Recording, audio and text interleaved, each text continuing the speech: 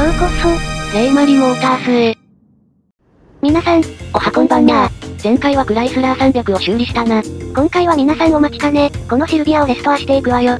前々回にスクラップヤードから拾ってきたんだったな。それじゃ、早速やっていこう。まずは、損傷の具合を確かめるために洗ってみましょ。あれ？なんか変なところに出たな。いつもだとこの高圧洗浄機がある方に出るのにね。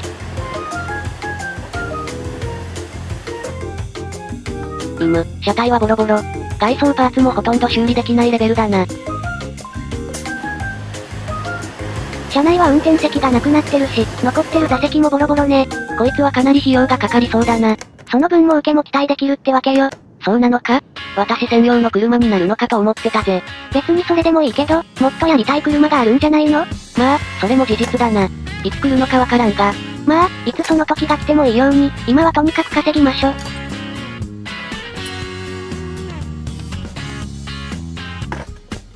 よし、外装パーツはこんなもんかな。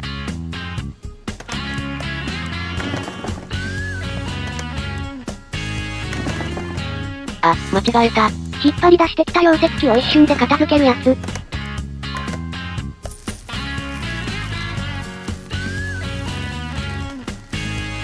よし、目が覚めるような鮮やかな赤だな。私専用の車にしてもいいわね。お前私が欲しいって言ったら今は稼ぐとか言っといて自分の車にしようってのはどういう要件してんだ？それは転売するんだったわね。てかそもそもお前にはランエボがあるだろうが。いや、でもセカンドカーとか憧れるじゃない？いいだろうがよ。グラセフの方ではセカンドどころかサードもレフトもライトもあるんだから。途中から野球になってるじゃないの。いっけね、阪神の結果が気になりすぎてつい。まったく、阪神要素は字幕だけにしときなさいよね。別に阪神ファンだから黒と黄色なわけじゃねえわ。今回はどうせ足回りも全バラシになりそうだから、今やっちまおう。ホイールは一応修理できそうね。ああ、ただどちらにせよ前輪の片方がなくなってるから買わないといけないけどな。それで、今回は前輪がマクファーソンストラット、後輪がマルチリンクね。ああ、現代の車では一般的な組み合わせだな。いつもの感じだしカットしますか。前輪周りは修復不能な部品が多かったな。ええー、これだけ損傷してるから仕方ないわ。それじゃ、エンジンを外しましょ。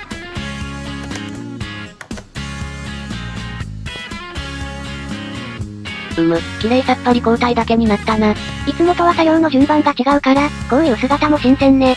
そうだ、もう座席も取っ払っちまおうぜ。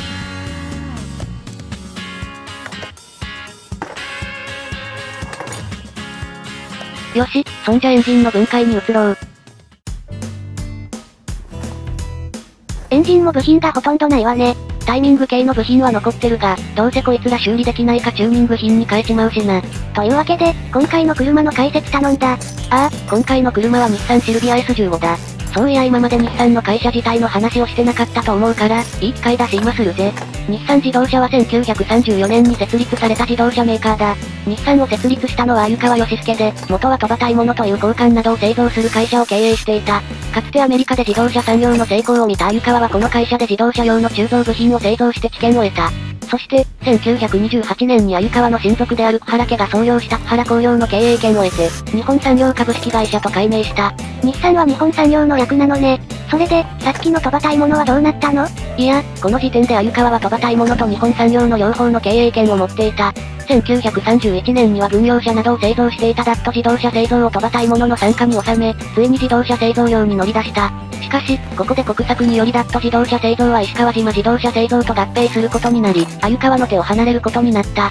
ここで鮎川は粘り、ダットで製造していた看板商品ダットさんの商標と製造権、さらには工場を得ることに成功。ダットさんを製造するための会社として、日本産業系の会社として日産自動車を設立したわけだ。設立までにすごい紆余曲折があったのね。ああ、そして黎明期に培われた技術はその後も他のメーカーから頭一つ抜きで他差を生み出し、技術の日産と言われるようになった。戦後はこれまた国策によって旧立川飛行機系列のプリンス自動車と合併し、技術力を向上しただけでなく、スカイラインやグロリアといった人気車種も販売するようになった。1980年代のバブル期にはシーマなどの高級車やスカイライン GTR などのスポーツカーが人気を博したが、バブル崩壊によって勢いを失い、経営危機に直面した。そこで1999年にルノーとの資本提携を行い、ルノーの参加で経営の立て直しを図った。そこでゴーンが出てくるのね。そうだ。ルノーから送り込まれたゴーンは日本人経営者ではできなかった大胆な経営改革によって日産を立て直した。そして、2016年には同じく経営難にあいでいた三菱自動車の筆頭株主となって、ルノー日産三菱アライアンスを締結。2017年上半期にはトヨタやフォルクスワーゲンを抑えて世界販売台数1位に輝いた。現在ではルノー参加ではなく対等な関係で資本提携していくことになったそうだ。そして、自動車製造では運転アシストや自動運転、さらには環境対応エンジンや電気自動車などを次々と生み出し、現在でも技術の日産という二つ名が衰えていないラインナップとなっている。それじゃ、会社の話が長くなっちまったが、シルビアの話に移ろう。シルビアは1965年から2002年まで販売されていた、2ドアクーペを主軸とする乗用車だ。特に1988年から販売された5代目の S13 からは優美なデザインのスポーティーな走りから、若者向けのデートカーとして人気を博した。今回の S15 は1999年から製造された7代目で、大型化して不人気だった6代目の反省を生かして小型化されている。丸みを帯びた優美なデザインと、スリメと称されたライト周りのシャープなデザインが共存する外観は女性にも人気が高かった。確かに、中から走り屋の女女の子が出てきても似合いそうなデザインしてるわね。それに、レートカーとして設計されていながらキビキビとした走りが可能であることから、カスタムやチューニングのベースカーとしても人気が高く、今なお愛好者が多い車種だ。それじゃ、ここらでエンジンの話も頼んだわ。S15 は大きく分けて2つのグレードがあり、自然吸気エンジンのスペック S とターボ付きのスペック R があった。今回のこいつはターボ付きのスペック R のようだから、そっちの方で話を進めていくぜ。エンジンは日産 SR20DET という2.0リッターの直列4気筒 DOHC ターボエンジンを搭載している。出力はミッションによって異なっており、MT が 250PS、AT が 225PS となっている。オートマの方は少し抑えめになっているのね。ああ、それなんだが理由は調べても出てこなかった。知ってる人いたらコメントで教えてください。ちなみに、スペック S の方は SR20DE で、DET とはターボの有無が違うだけだが、出力は MT が 165PS、AT が 160PS でスペックの違いは明らかだ。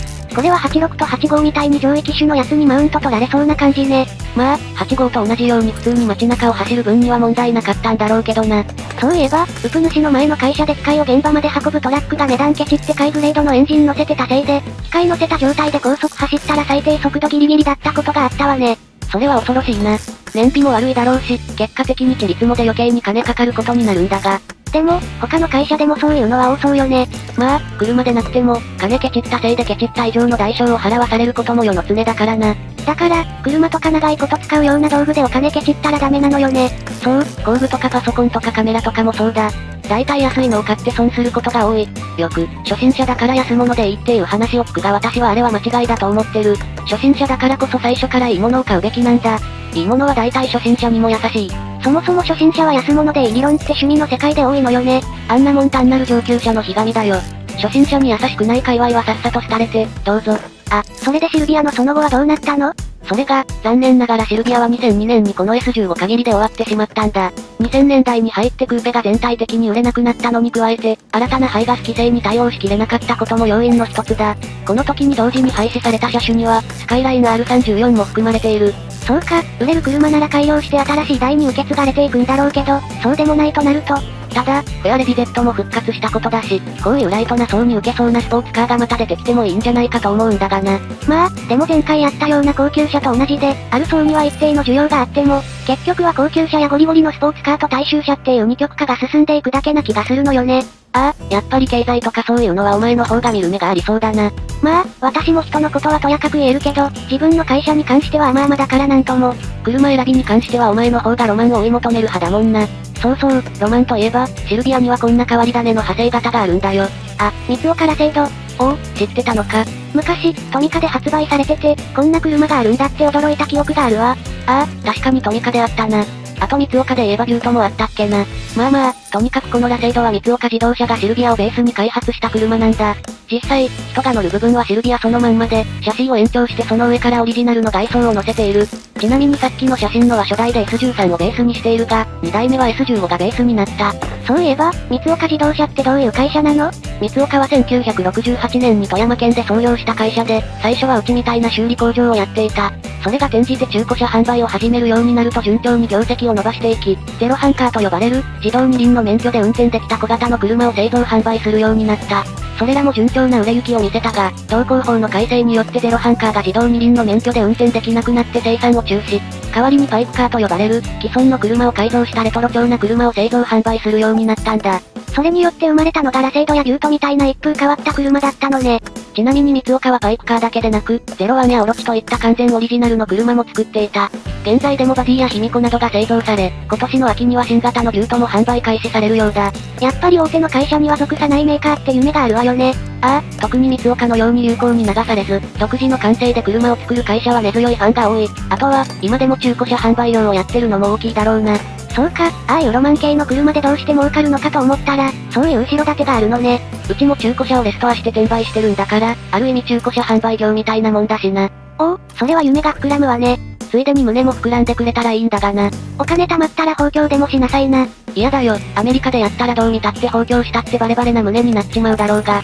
なんか、アメリカって胸が天然か人工かあんまり気にしないからあんな風になるらしいわね。まあ、それは嫌。私はありのままの自分を見てくれる人を探すぜ。というわけで、ありのままのマリサを見たい方はグラセフシリーズをどうぞ。やめろ、てか誘導するなバカ野郎。よし、スペック R の特徴であるターボも取り付けましてと。そうだ、今回も円満にを塗装するからこの辺は後回しにするわ。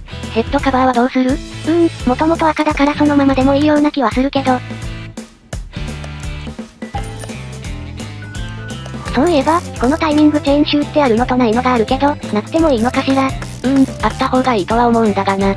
おそらくゲームオリジナルのエンジンでは省略されてんだろ。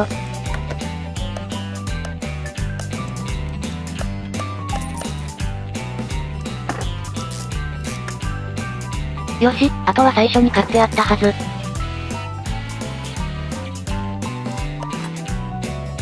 嘘、これ買ってねえ。もともとついてなかった部品はリストに入れようがないからね。車のこと知ってそうだからリストにぶち込んでやるぜ激サムコピペ2機はいいから。信じられるかもう7年も前のネタなんだぜ。そろそろ縁務界隈もネット老人会の仲間入りかしらね。時代の流れだ、受け入れろ。そしてフラッシュ世代のオープ主がその老人ホームでドラえもんの絵描き歌歌ってるから。最近ショート動画で再ブームが来て、ようやく原曲を知るという。というわけで、インマには金のクローム超塗装。ヘッドカバーは赤のクローム超塗装としたぜ。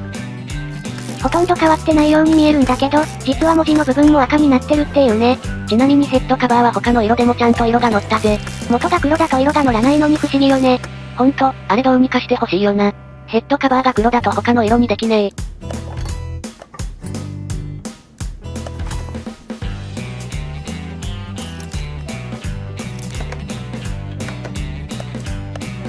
今回もフルチューンで行くぜ。ええ性能爆上げカスタムはレイマリモータースの売りだからね。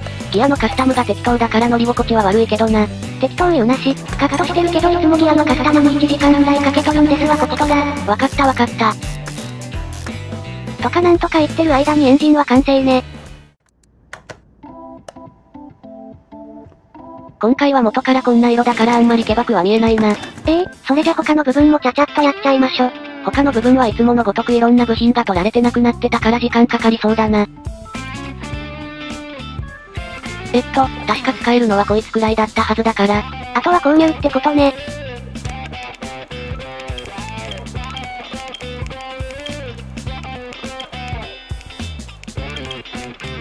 超速動作すぎて見えん。この辺もいつもと同じようなもんだから早送りでいいわよね。あ、こいつインタークーラーもあるのか。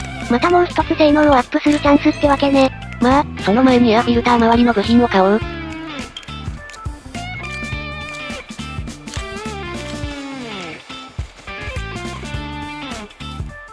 はい、いつものヒューズ上の時間でございます。田植えみたいに言うな。そういえば、これいつも汎用のボックスに車によって違う種類のヒューズやリレーを挿してるけど、実際はどうなってるのかしらね。実際もこんな感じらしいぞ。ただ、形状はメーカーや車種によって様々だし、他にもダッシュボードの下やトランクにもあったりする。よし、インタークーラーも取り付け完了と。足回りはカットでいいわよね。ああ、要所要所だけ見ていこう。ブレーキディスクは一番いいのを選んだぜ。見た目的にはギンギラギンなやつの方が好きなんだけど、性能差考えたら仕方ないわね。ああ、2番目に高いやつと性能は0.5%差ではあるが、かける4になるから割とでかいんだよな。それじゃ、ブレーキキャリパーに色塗ってくるわ。はい、無難に赤にしてみました。赤が無難とはこれいかに。メタリックな紫とかよりはマシでしょ。メタリックなゆかり。私も一瞬思ったけど気持ち悪いわね。もちろんエキゾーストもチューニング品だ。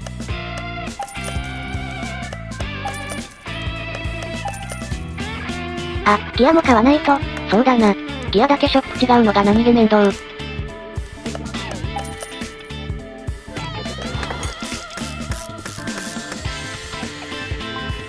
あ、スターターも買ってなかったか。スターターも高確率で盗まれてるもんね。仕方ない、あそこにある時点で部品取りだから。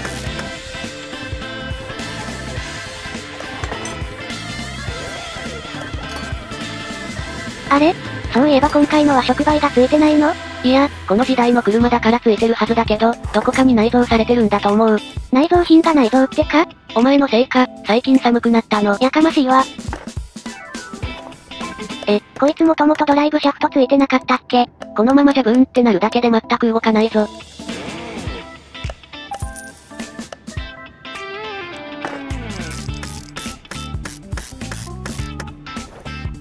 さて、タイヤワット。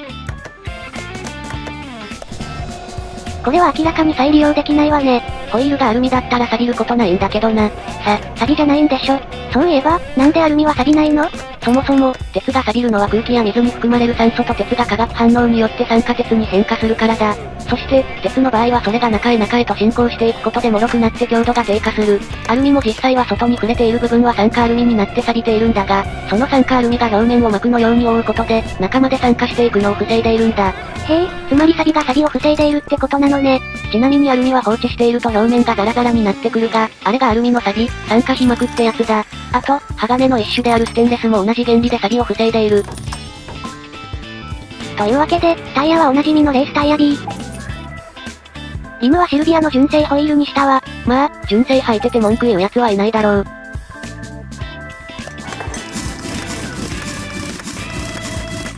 よし、でけた。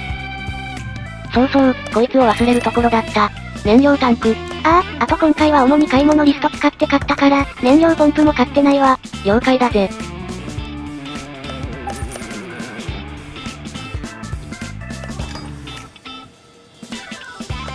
これで本当の完了。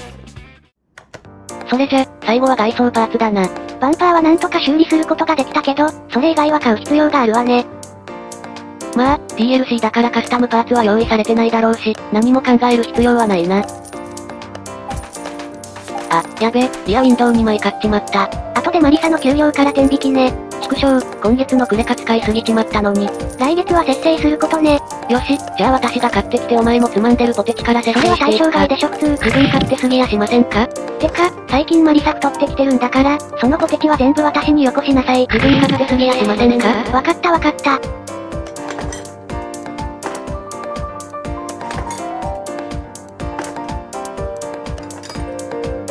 てか、こんだけ無塗装の部品が多いなら、色も変えた方がいいような気がするな。えー、何色がいいと思う？うーん、シルビアといえば白か銀か青ってイメージだな。そういえば、前に言ってた YSP3 のやつは？あれは青地にオレンジの帯がついてたかな。ただ、ここじゃ細かいレタリングはできないし。まあ、無難な塗装にした方が良さそうね。ああ、それにこいつはドリフト仕様じゃなくて通常仕様だからな。ナンバープレートは日本のものがなかったから、似ている無地のものにしたぜ。一応、モッドで日本風のナンバープレートもあったから、入れ方も含めて調べとくわ。おう、よろしく。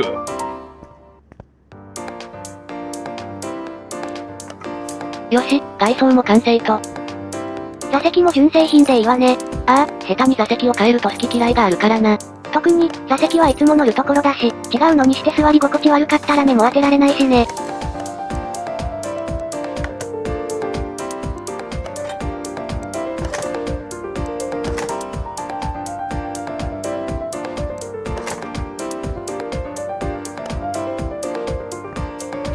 ウィングとかつけるか？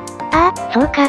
これ DLC だからカスタムパーツがないけど、アドオンパーツなら取り付けられるか。ああ、一応取り付けられるみたいだ。ボンネットとトランクとルーフか？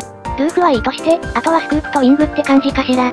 そうだな、そういや今まででアドオンパーツって買ったっけ？覚えてないから説明するわ。一回やってたらごめん。アドオンパーツはこのアドオンショップで買えるわ。スポイラーの種類がすごい割にスクープは1種類しかないのな。まあ、迷う心配がなくなるからいいじゃないの。スポイラーもシルビアに合いそうなのは1くらいしかないような気がするけどな。そうね、この優美さを失わないデザインがいいわね。そして、取り付けるときはこの組み立て可能な追加部品を選択して、緑色のマリモみたいなやつを選択する。確かにマリモみたいだけども。よし、完成。はい、というわけで液体類の補充や隠し調整はカットしまして、塗装のお時間です。さて、さっきも言ってたけど何色にする？うん、赤はいい色ではあるんだが、シルビアには似合わないかな。ちなみに、この本のマークの部分は純正色が選べるわよ。あ、やっぱこの辺だよな。てか思ったんだが、こいつスクープが似合ってねえな。ああ、確かに。取ってつけた感がすごい。スクープにしろスポイラーにしろ、似合う似合わないがあるからな。スクープとかダブルスポイラーとか、どこぞの分野みたいね。誰もダブルスポイラーとは言ってねえぞ。というわけで、スクープは取り外すわよ。普通、ボンネットに穴開けて取り付けるから、こんな簡単には外せないんだけどな。細けいことはいいんだよ。じゃあ、この青が一番しっくりきそうだからこれで。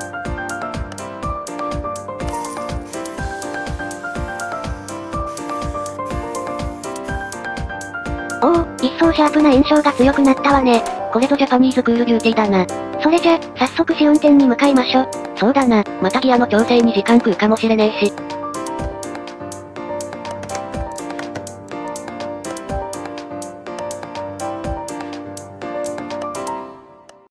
ああ、そうか。こいつ右半なのね。あ、最初に洗車した時にいつもと位置が逆だったのもそれが関係してるかもな。なるほど、運転手席に近い方にスポーンするってわけか。それで、走りはどうだ？うーん、ちょっと加速が弱い気がするわね。一足のギア比もっと上げてもいいかも。運転するだけで改良すべき点が分かってくるレベルになってきたか。ええー、これだけ何回もやってればね。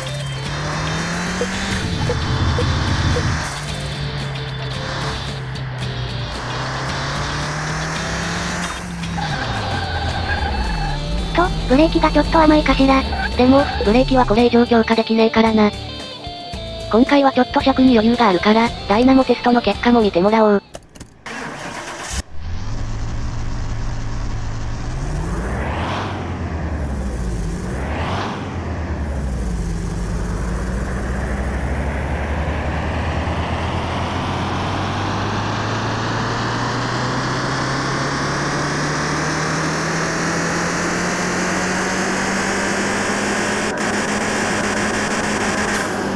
なるほど、そもそも起動時のトルクが低いのね。こればっかりはエンジンの特性だから仕方ないな。まあ、ギア比の変更はああだこう出してる時間垂れ流してももったいないので結果だけ。これが、こうなりました。そもそもが過剰性能だったから、ファイナルギア比を上げて加速重視にしたわ。これでどうなったか確かめてみよう。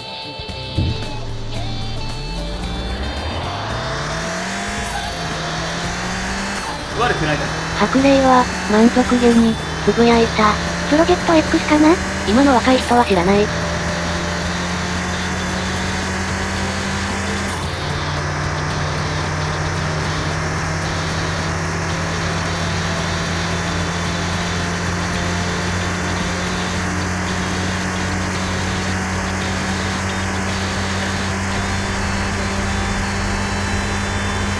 オーケー、それだけ出れば十分でしょ。ああ、最高速度はこれでも十分すぎるな。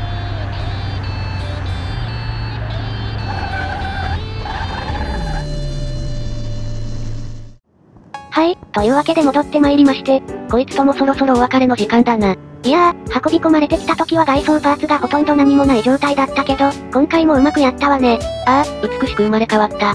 これならすぐに書いてもつきそうだ。いやー、このエッジの効いたラインが美しいな。女性ファンが多いのも納得ね。シルビアだけの S マークも誇らしげに。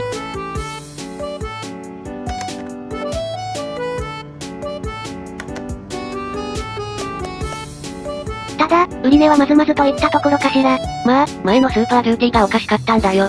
それもそうね。じゃあ、名残惜しいけど売りに出すわよ。今度で会った時は私の車にしたいぜ。グラセフのモッドも探しときますか。今回はここまで。この動画が面白いと思った方はチャンネル登録、高評価を。そして、良ければ他の動画も見ていってね。最後までご視聴ありがとうございました。それでは次回も、ゆっくりしていってね。